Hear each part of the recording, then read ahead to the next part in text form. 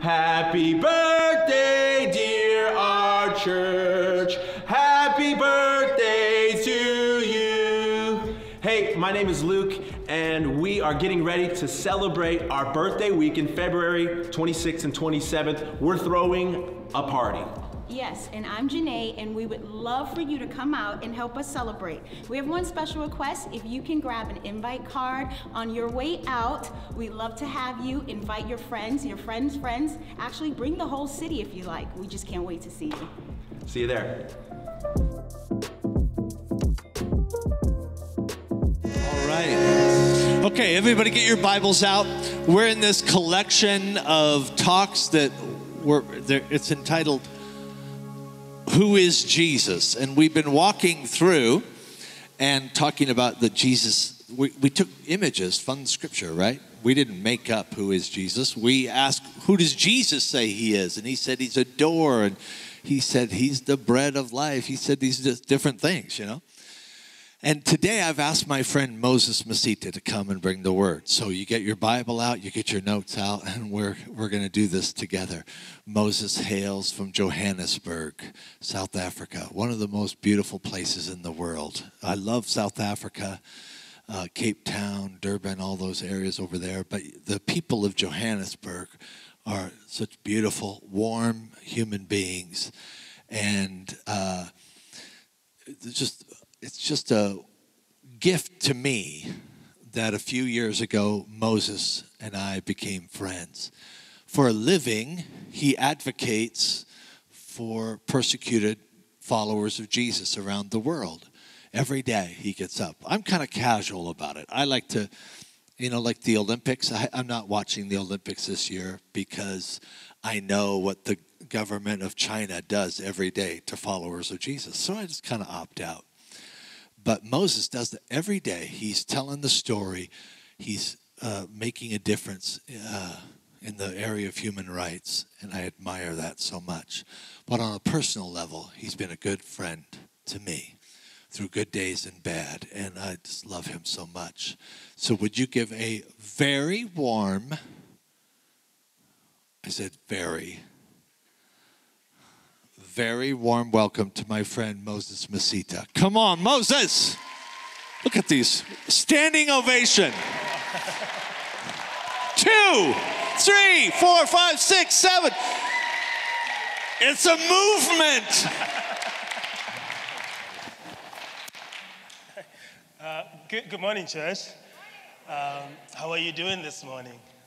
Oh. It's Super Bowl Sunday, isn't it? Yeah, you, you're gonna go home after this, and you're gonna make good food, and you're gonna watch a good football game, and then you're gonna eat a lot, and by the end of the day, you're gonna have a food coma, and it would have been a great, great day, right?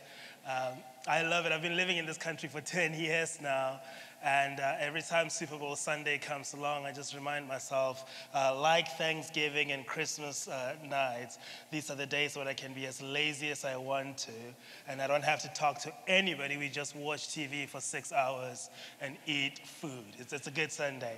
Um, I'm really grateful to be here uh, with you guys this afternoon.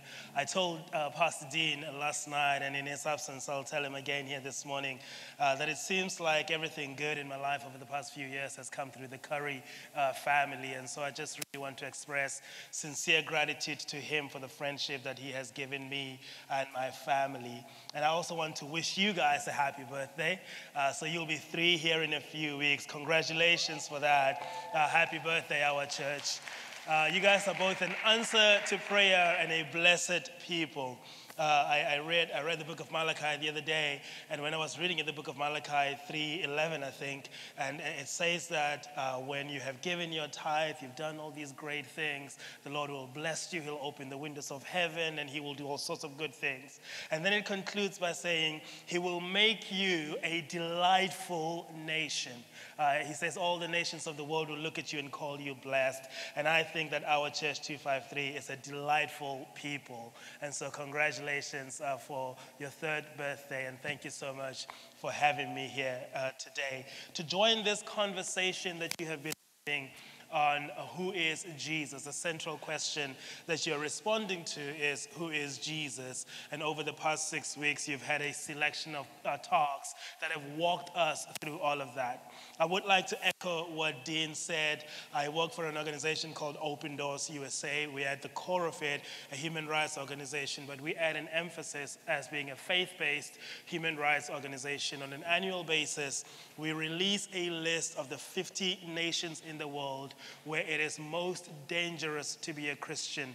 These are people who could potentially be thrown in jail, potentially uh, be beaten up, and potentially, sometimes, very few occasions, it does happen that they get killed for professing Jesus as Christ. The vast majority of whom are people who are denied mere opportunities. They're denied things like access to jobs, access to COVID medication, access to food supplies because they call Jesus uh, their Lord. And so we serve these people, we advocate on their behalf on a regular basis. The country that is hosting the Winter Olympics this year is number 17 on that list. And now you may say to me, hey, Moses, you said you released a list of 50 nations, 17 seems to be pretty low. Uh, the thing with China, though, is that being number 17 uh, on the list of the top 50 nations uh, that is most dangerous to be a Christian is that they also have a supersized influence on other countries. China is probably outside of the United States and very soon will overtake the United States as being the most influential country in the world. And their influence is seen through how they disperse their resources. One of the things that they're sharing with their friends across the world, and we see this in the Middle East, we see this in parts of Africa, is that they are sharing surveillance technology.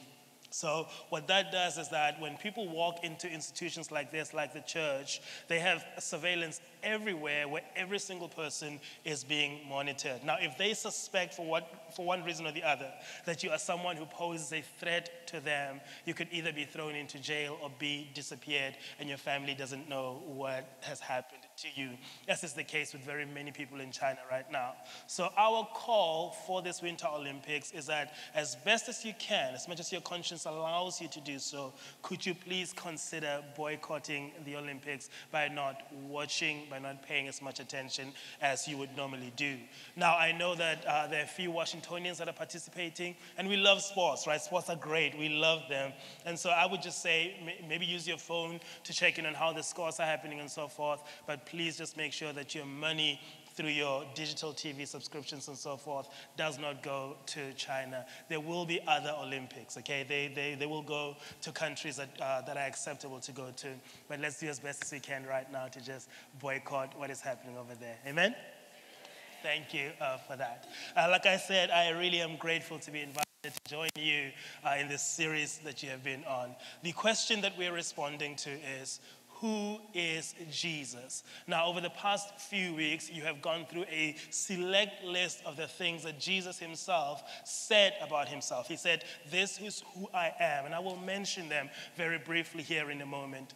But one of the things I love to do, because to understand something or someone, you really have to understand the purpose for which they came. And so we begin by asking, Who is Jesus? by first asking, Why Jesus? Why did he come on this earth? Why did he present himself as a person to those who were living in the times that they were living? Because how many of you know that you and I are just not, uh, we are not just a modern expression of, of, of some new religion. We are joining a very old conversation. In fact, when we open the letters and read the scriptures, we are joining a conversation that is, at least to our knowledge, about 2,000 years old. Now, we think it's much older than that. At least the earth could date to about 5,000 since humans began inhabiting the earth and having conversation with God. And so, the question that we are really asking here is what is it that God is doing in relation to the people that He has created to this earth? And to understand that, we begin by by answering the question why did Jesus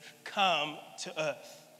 One of my favorite writers of the gospel, there are four gospels, you, as you know them. One of my favorite writers of the gospel is a guy called Luke. Luke is probably one of the most accessible writers of the gospel to me. I read the book of Luke and I see myself. I see my mother. I see my family. I see people who would ordinarily be marginalized. They are being centered in the book of Luke. And he gives us a central tenet for why Jesus came to this earth.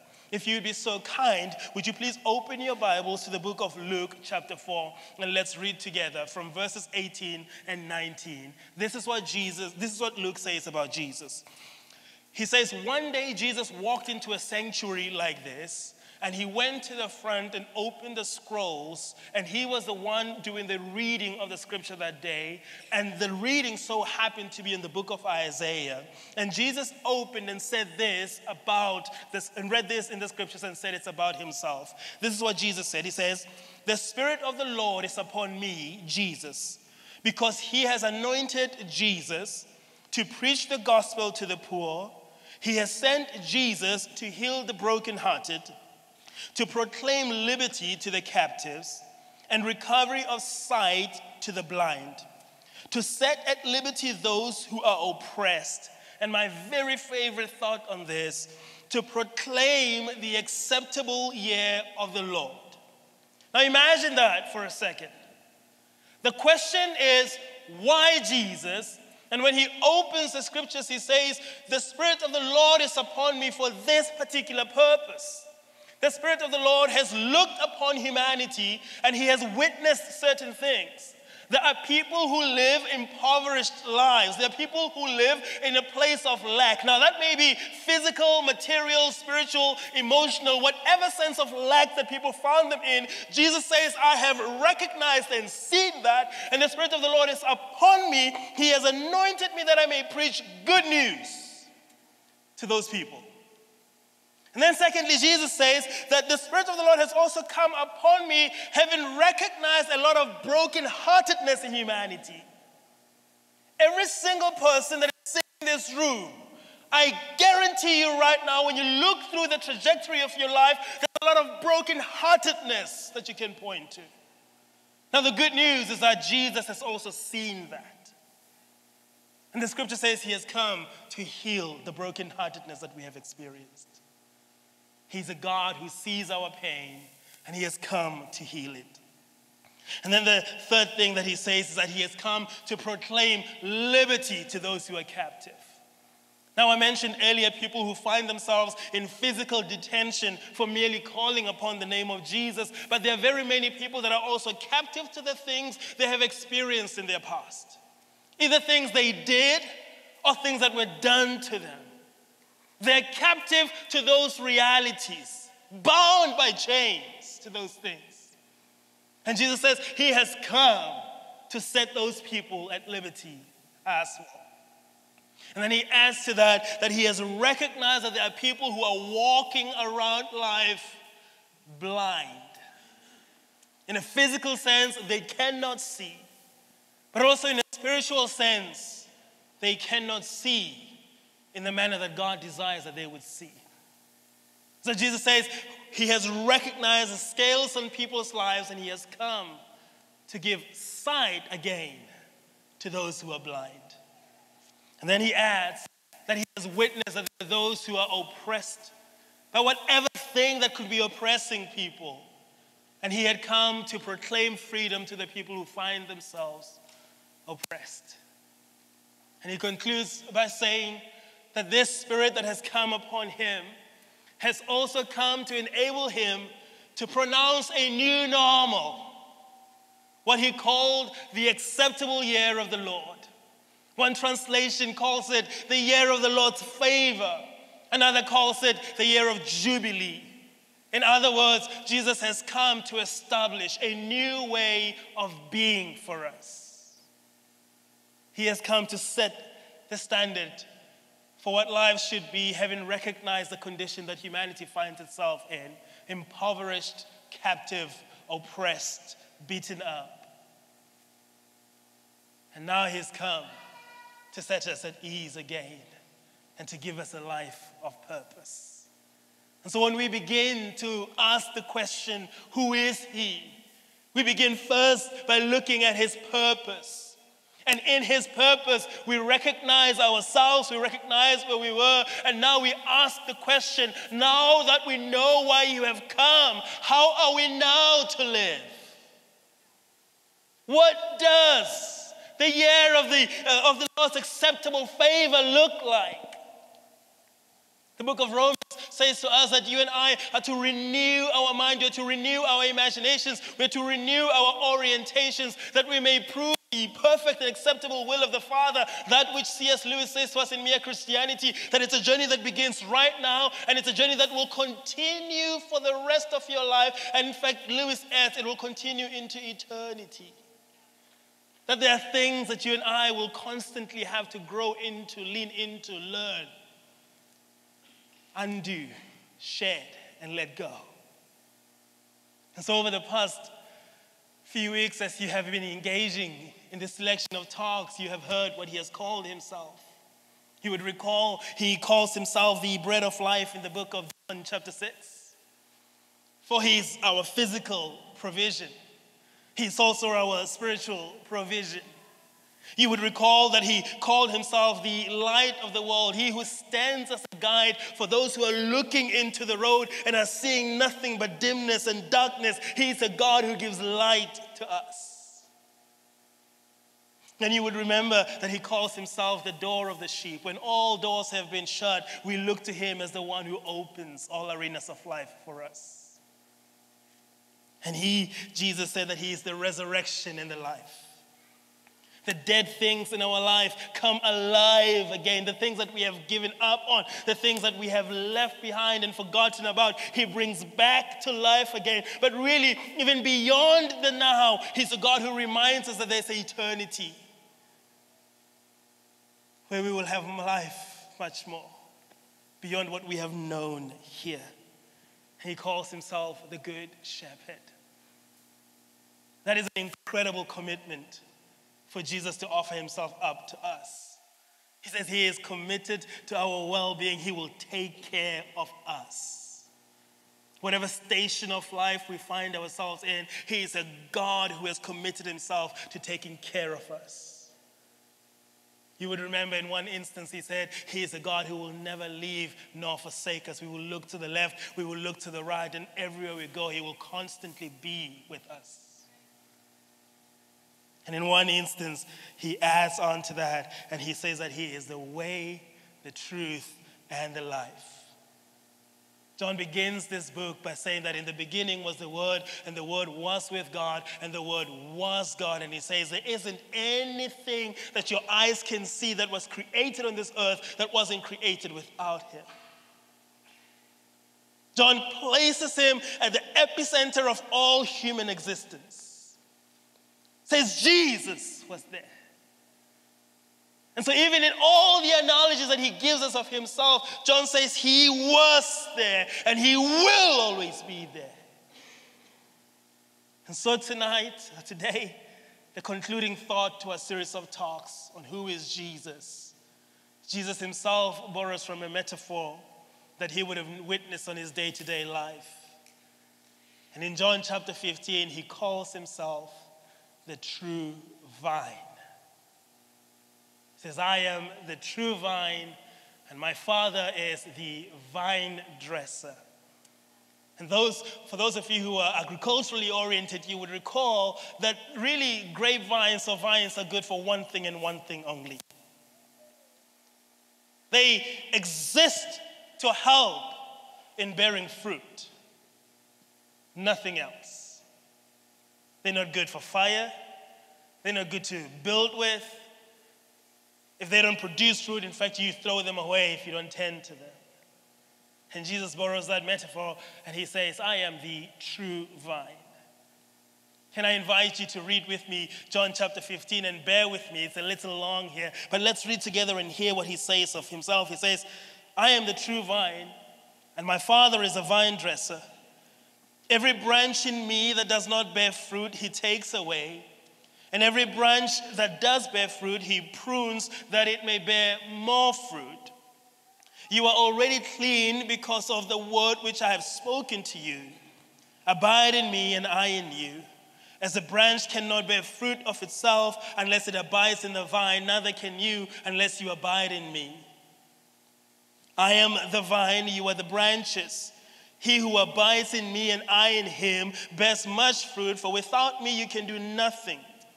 If anyone does not abide in me, does not abide in me, he is cast out as a branch and is withered, and they gather them and throw them into the fire, and they are burned. If you abide in me and my words abide in you, you will ask what you desire, and it shall be done for you.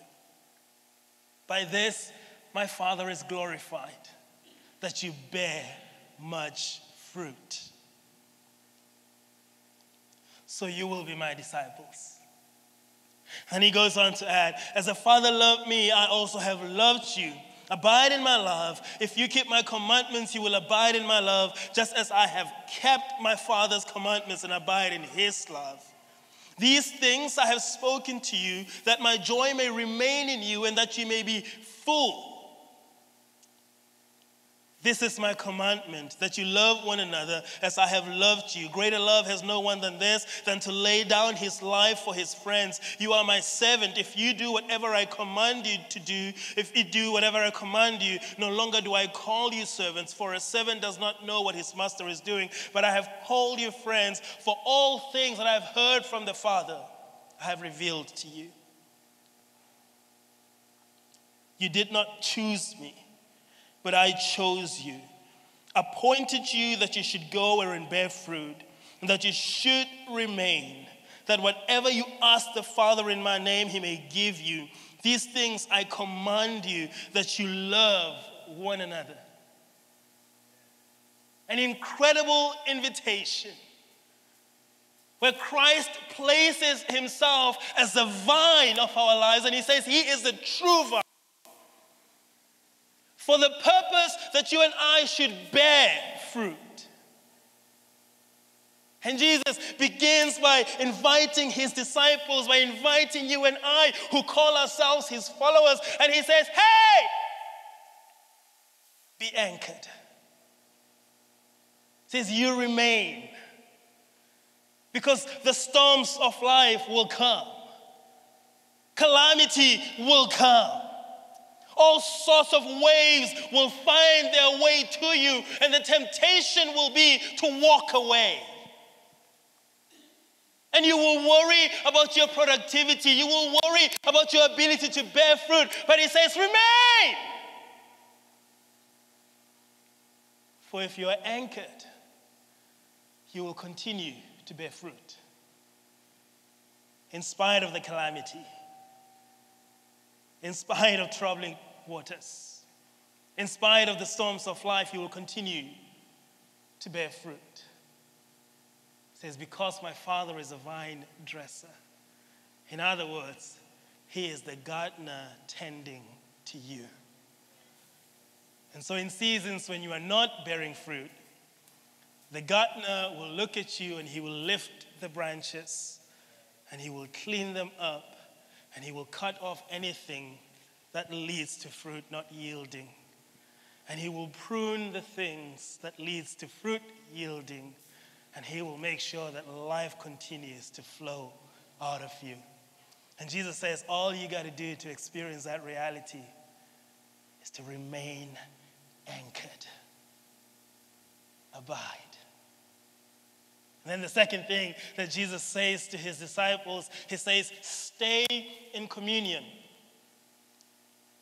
Continue to have conversations. Continue to lean in to my word. Continue to lean in to who I am. He says, Because everything that I have heard from the Father, I have revealed to you. So we stay anchored, but we also walk in communion. For there's this flow that takes place relationally between us and the God who has determined to take care of us. And the third invitation that Jesus gives us, he says, Love one another. In fact, he says, This is my commandment to you. I compel you to do this. Love each other. Stay anchored, be in communion, but now walk in union with one another. It says, prefer each other's well being. This is how I'm going to call you my disciples when you walk in that love. For it's only when you live in that triage of reality that you will continue to bear fruit. And friends, I don't know what arenas of life you are trusting God to continue to bear fruit in. It may be family life for you, it may be work, it may be school, it may be your social circles, whatever arena of life that you're thinking, Christ says you want to bear fruit that lasts to eternity. He says the pathway to do so is to be anchored in the true vine, to be in communion with the true vine, and to listen to his instructions to be in union with one another. For the Spirit of the Lord is upon Jesus. Having witnessed the pain of humanity, he has given him tenants to fulfill. Now, Jesus tells us who he is. And he says, in order for us to continue to bear fruit in life, all we have to do is to stay rooted in who he is. The book of Galatians gives us a glimpse of what vitality looks like in the spiritual life, what the fruits of the Spirit are. And in Galatians chapter 5, verses 22 and 23, the writer of the book lists the following, and he says, uh, For the fruit of the Spirit is love, is joy, it's peace, it's long suffering, it's kindness, it's goodness, it's faithfulness, it's gentleness it's self control. Then he adds, There's no law against these things. Could you consider if you and I were to be fruitful in these arenas that he has listed, how much of this will also spill out in other portions of our life? He invites us to stay anchored. He invites us to stay in communion. And He invites us to stay in union because Jesus is a true vine. And without Him, there's no fruitfulness in our lives. Without Him, nothing flows out of us that is life giving. So today I want to invite you strengthen what remains stand against the tide that may come against you. Know who your God is. Worship Him with everything you have. Look to your left, look to your right, see your brother, see your sister, and be on their team. Seek their well being, that they too may flourish Would you close your eyes and bow your heads with me, please? And as you're sitting in this place, reflecting on your own life, seeking to be a fruitful person, maybe you're sitting there thinking, but I'm so far from Jesus. And you would like to know this Jesus that I speak of. The invitation stands today. One of the good news that we read in the scriptures that He's a God who says, I have already cleaned you you are already clean because I've spoken my word over you. And all you have to do is to respond to that reality. If you're sitting in this place and you say, I don't know Jesus, I would love to know him. With every eye closed and every head bowed, please, so as not to embarrass anybody. Will you just quickly slip your hand up and put it down as quickly as you put it up? Just put your hand up and say, Man, thank you, thank you, thank you, thank you, thank you. Just say, I just want to know Jesus. I want to connect with him. Thank you. You can put it down once you've put it up again. Thank you. And Father, I thank you for your people who are reaching out to you to be anchored in who you are.